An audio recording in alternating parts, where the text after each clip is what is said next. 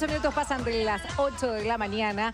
Y recuerden, el jueves pasado tuvo en Montevideo el primer encuentro del Grupo de Contacto Internacional sobre Venezuela, una iniciativa que impulsó la Unión Europea. Y el día anterior, el miércoles, el canciller Nino Boa se reunió con su par mexicano en este mecanismo de Montevideo. Pero sí hay una diferencia y es que el mecanismo de Montevideo no habla de elecciones como sí habla el otro grupo. Y además también este documento reconoce que Venezuela no tiene una democracia plena.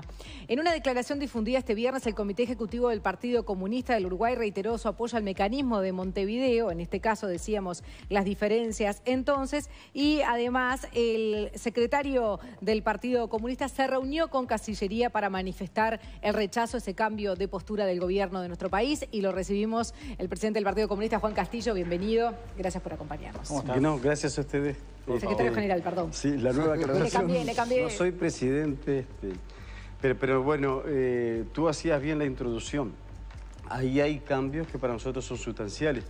Ah, claro, desde el arranque que nosotros no mantuvimos reunión con el canciller de la República, con el ministro Nilmo Boa, porque algún medio de prensa ayer levantaba eso, algún otro canal también. Este, siempre, nunca dimos nombre y siempre dijimos con el gobierno, con la Cancillería, hemos mantenido la entrevista. De todas formas, para que no quede en duda, nosotros respaldamos la búsqueda de nuestro gobierno de una salida negociada y que se encuentren los mecanismos de paz. Mm. Eso, pero no nos vamos a cansar de reiterarlo, se enoje quien se enoje o nos digan lo que nos digan. La antítesis a la no salida de paz es guerra, ¿no? ¿no? No, no hay dudas, es enfrentamiento entre el pueblo, es golpe de Estado, es invasión de los Estados Unidos, que todos dicen que tienen las tropas alrededor. Eh, todos dicen, yo no estuve en la zona, no sobrevolé el área, porque si te llevas a cuenta de lo que dicen las redes sociales, te ametrallan con noticias de un lado y del otro que a veces Ahora, Juan, de dudosa realidad. Te reuniste con alguien de Cancillería que no fue el canciller, eh, le llevaste, bueno, eh, la opinión que tiene el Partido Comunista del Uruguay. ¿Cuál fue la respuesta? ¿Hubo presiones de la Unión Europea? Mira, hablaron, aclararon, más allá de que lo sabíamos, era bueno tenerlo de primera mano. Hay dos ámbitos totalmente distintos. Los dos ámbitos los integra Uruguay. Este, el mecanismo de Montevideo... firmó las dos declaraciones. Sí, claro, eh, en tiempos distintos. El mecanismo de Montevideo es un mecanismo que inicialmente lo comenzaron con México, buscando un mecanismo precisamente, al que luego adhieren los países del CARICOM, que todos, son todos los países del Caribe, América Central, unos 14, 15 países, más eh, Bolivia que se adhiere acá. Ese mecanismo es una resolución que se filtró o se hizo pública. No, no, yo no creo que se filtró, se dijo en la conferencia de prensa los, cuatro pasos, que tenía. Los cuatro, los cuatro, pasos. Nosotros suscribimos plenamente eso. Donde no se menciona la selección. No se menciona. Al otro día, a ese grupo, a ese equipo, se integra la delegación de lo que se llama ahora GCI, Grupo de Contacto Internacional, Exacto.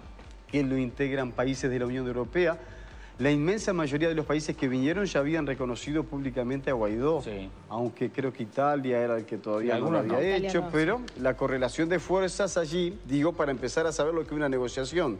Entramos cada cual de los cuatro acá a esta mesa con una postura inicial, la volcamos, debatimos y veamos con qué nos vamos. Esto fue lo que ocurrió, que eh, Uruguay, junto con el el equipo de Montevideo, con el mecanismo Montevideo, va con esa propuesta. Los tiriaflojes son duros, dicen que hubo una negociación importante, dura, que hubo que negociar. Hubo dos posibles alternativas distintas a la que salió.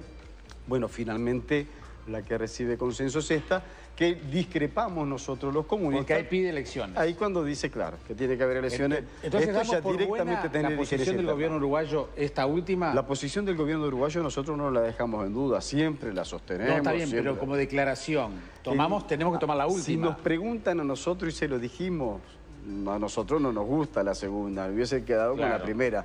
Hubo que acordar en esta, en todo caso ya criticamos lo criticable, eh, tiene a favor que no reconoce a Guaidó ninguna de las dos reuniones, ninguno de los dos grupos. Mm. Eh, no alientan una salida armada, no lo alientan, buscan una salida en paz. Eh, reconocen también la necesidad de buscar que llegue ayuda humanitaria, pero esta vez a través de Caracas y a través de las Naciones Unidas, no a partir de lancha de desembarco que los militares aparezcan llevándote los medicamentos o el arroz que haga falta. Entonces yo creo que hay algunas cosas positivas, pero en el grueso, lo fundamental, como veníamos con otra expectativa, lo bueno era que lo supiera de primera mano el gobierno. Miglarini, el, el Partido Comunista, había dicho, bueno, en realidad la ayuda humanitaria debería ser con el levantamiento del bloqueo. También, entre otras cosas, porque mirá vos, me rodean la puerta de mi casa para que no entre el delivery y después me quieren meter por la chimenea un paquete de arroz. Eh, eso es, está bloqueado Venezuela ahora por medidas unilateralmente que tomó Estados Unidos de Norteamérica. Está bloqueado, sí, ha retenido... las medidas son bastante recientes y la crisis económica en Venezuela viene se más viene desde mucho antes, sí, pero los bloqueos comienzan unilateralmente a partir hasta de corte de negocios, ¿no? Bueno, pero este, hasta hace dos semanas le compraba petróleo a Estados Unidos sí, Venezuela. yo creo que capaz que lo sigue haciendo también, pero hay otras detenciones que se viene haciendo desde antes que objetivamente le limitan la llegada de medicamentos y de alimentos, que es lo que estamos pidiendo acá. Entonces, la digo, cierro con esto, mira, la contradicción es, te niego lo que te corresponde, no te pago lo que te debo, pero te hago llegar una ayuda humanitaria. Bueno, esto es el mecanismo contradictorio. Y ahí como eh, este mecanismo contradictorio, ¿no? Que hay dos. Eh, ¿Cómo sigue el gobierno? ¿Se puede trabajar Yo creo, El gobierno me parece que lo va a analizar hoy en el Consejo de Ministros yo creo, así lo han dicho, de que va a seguir insistiendo con estos mecanismos y menos mal que, que siga existiendo Uruguay parado firme en esto, no con posición neutral, como ha dicho algún viejo dirigente político del Uruguay. Es una vergüenza que Uruguay tenga posición neutral. No, no es neutralidad, es estar a favor de la paz. Lo contrario es impulsar a que el país se enfrente en una guerra que no se sabe cuándo termina. Juan, para vos, ¿Maduro busca la paz? Bueno, yo creo que no le quedan alternativas si no la quisiera. Yo creo que sí, no tengo nada para cuestionar. ¿Hay paz hoy en Venezuela? Bueno, hay paz con esta situación difícil, ¿no? De, limitaciones internas. Nos dicen de que faltan alimentos, que faltan medicamentos. Hay enfrentamientos políticos. Hay presos políticos. Hay presos políticos. eso está lejos de ser una situación. En el medio de esa situación complicada que están teniendo. ¿Y cuál es la responsabilidad del gobierno de Maduro en todo esto entonces? Bueno, a ver, yo como cualquier otro gobierno me parece que debe tener responsabilidades ellos y responsabilidades políticas que tiene que asumir la oposición también. Debería dar un paso al costado Estado Maduro?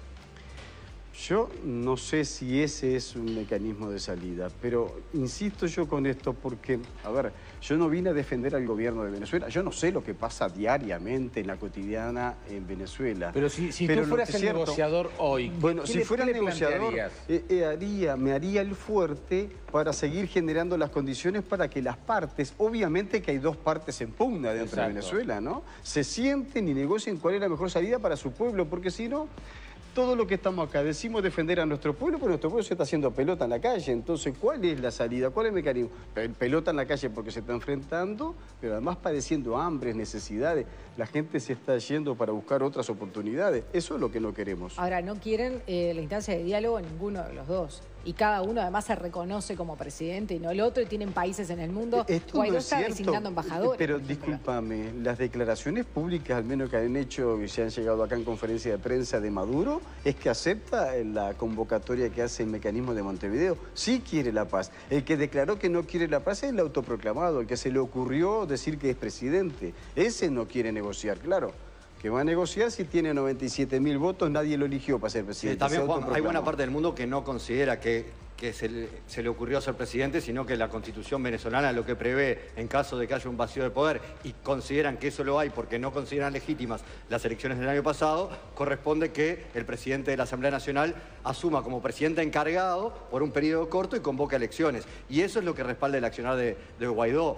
No es que a él se le ocurrió, Está bien. A ver, no, ya sé que no se le ocurrió, se le ocurrió a Trump. Ya sé, todos sabemos lo que estamos acá, todos leemos. No, pero ahora no es solo Trump, porque está Trudeau, que es el presidente de Canadá, que no, es de derecha.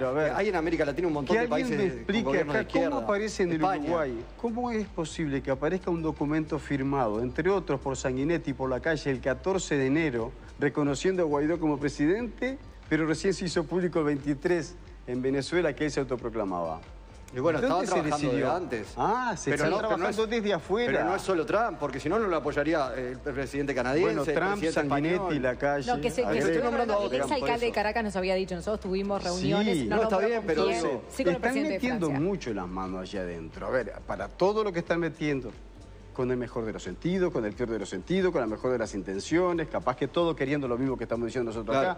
¿Cuál es para nosotros el mecanismo? Que se sienten las partes y negociemos. Ya dejaría de ser un problema si quiere la administración Maduro o quiere el autoproclamado Guaidó. Es lo que entre todos se generan las condiciones para que en realidad evite que se instalen mecanismos de guerra en nuestro Ahora, continente. Maduro, decís, busca este diálogo, pero dijo, las elecciones estuvieron bien, yo soy el presidente, no voy a adelantar elecciones, capaz que sí adelanto las otras, que es donde tiene la oposición, donde está Guaidó, justamente. Quieren elecciones en 2024, dijo. Sí, pero eso ya a mí me parece el truco y retruco, ¿no? Me parece, insisto, eh, eh, porque es muy difícil defenderlo. Si nosotros acá estamos batiéndonos, confrontando opiniones para saber cuál es el mejor mecanismo de salida para el pueblo venezolano, es muy difícil si de adentro tampoco se ayuda. Y una parte, mientras Maduro dijo eso, Guaidó dijo yo prefiero que vengan otras fuerzas a ayudarnos. Es difícil intentar ser gobernante de un país y pedir que te invadan. Está, embromado. En, la lógica de los uruguayos eso no nos sé. es muy preocupante, además. Es preocupante. También el papel que juegan las Fuerzas Armadas, ¿no? Es muy difícil gobernar un país si las Fuerzas Armadas no te respaldan y, tuvimos los ejemplos claro, Claro, bueno, y en este caso... Pero más el poder que tiene las Fuerzas Armadas en Venezuela. Reclama el gobierno electo también por la disciplina que tienen las Fuerzas Armadas en cualquier país, este, que le deben constitucionalmente, se debe pero además porque dicen que es la segunda Fuerzas Armadas más grande del continente, un país también con muchas dificultades. Yo que sé, solamente la frontera con Colombia tiene una extensión de 2.200 kilómetros entre montañas y selvas, ¿no? Y narcotraficantes. Y narcotraficantes. Eh, Juan, por último, dentro del Frente Amplio, los que no están de acuerdo, o sea, sí con el, el, primer mensaje y no con el segundo del gobierno, ¿es el Partido Comunista, el PVP y la 711? Que yo haya sentido que a mí me haya llegado también Casa Grande, también varios dirigentes, pero no su partido, porque no todos se han expresado. Esto ha sido todo muy rápido. De todas formas, insisto que esto fue hecho en la mesa política del día viernes pasado, que es un ámbito de dirección orgánico. Nosotros que lo analizamos después y sacamos la declaración pública, que nos reunimos antes de hacerlo público con la Cancillería y que bueno, lo que nosotros intentamos hacer con esto es seguir respaldando, impulsando que nuestro gobierno no afloje, no cese en buscar una salida en paz para los venezolanos. Juan Castillo, muchísimas gracias. Gracias por venir. 9 y 1, vamos a los datos del tiempo.